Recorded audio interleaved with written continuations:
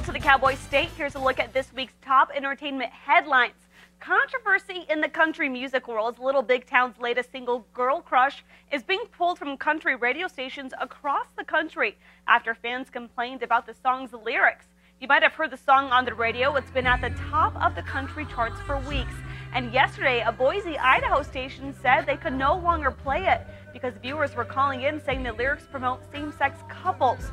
Now, the lyrics say things like, I got a girl crush and I want her magic touch, but other radio stations are fighting back, saying they will continue to play the song and don't find it to be a problem.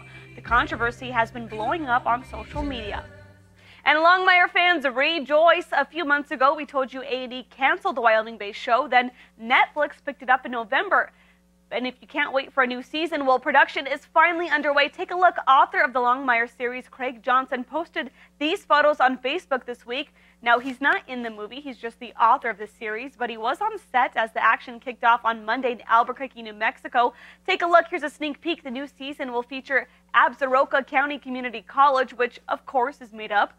You'll see that and a variety of Wyoming based concepts in the season.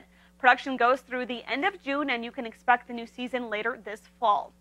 But if you can't wait that long, then how about hitting the box office this weekend? The number one movie topping the weekend box office is the Divergent series Insurgent, and its first weekend, it's already grossed $52 million.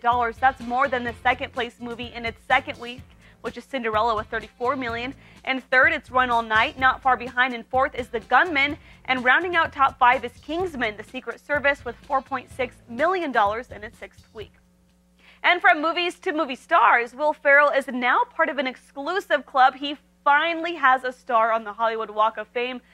Ferrell celebrated the milestone this week with his family and a few famous friends, and as usual, the comedian tried to go for a few laughs. NFL received the 2,547 star on that Walk of Fame. His new comedy, Get Hard, opened in theaters today. And that wraps up this week's edition of What's the Scoop. Thanks for watching. We'll be right back.